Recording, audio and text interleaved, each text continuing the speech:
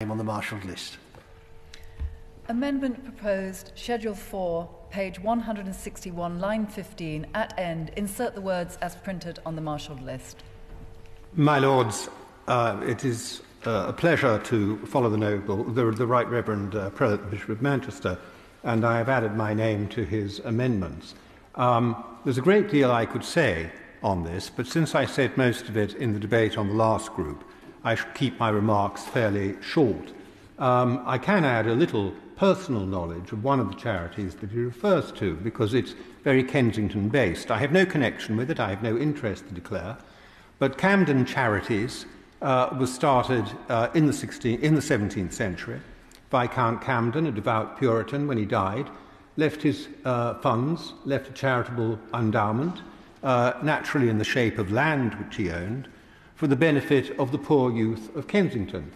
And his widow, when she died, uh, did likewise with her property, hence the plural, it's Campden Charities. Technically, they're two separate uh, endowments, but they're run as one. They own land in Kensington to this day from which they have an income, and they continue to support the poor youth of Kensington, and there are poor youths in, in Kensington, uh, giving them grants for, to allow them to continue their education and, and apprenticeships and work of that sort. Their income is now going to be, to some extent, by this measure, uh, reduced and expropriated. As I say, we feel no embarrassment, apparently, as Conservatives in doing this. We feel no constraint upon us. We are too tender and too uh, gingerly uh, to feel that we can expropriate the assets of ill doers like Putin's friends. They are sacrosanct. But those who do good like charities, can have their money taken away uh, simply with very little debate and handed to leaseholders who may or may not be poor and meritorious. Who knows? What is it next, I wonder, for my noble friends on the front bench?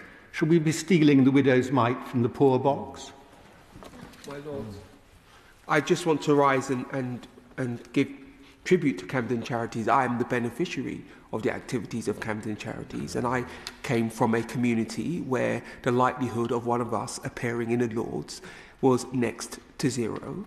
And Camden Charities is an important part of my arrival in your, in your Lordship's house. And I would just like to point out that removing The ability of charities countrywide to provide such services would be devastating to some of the poorest communities in this country. Again, I stand here as witness to the effectiveness of some of the work that they do.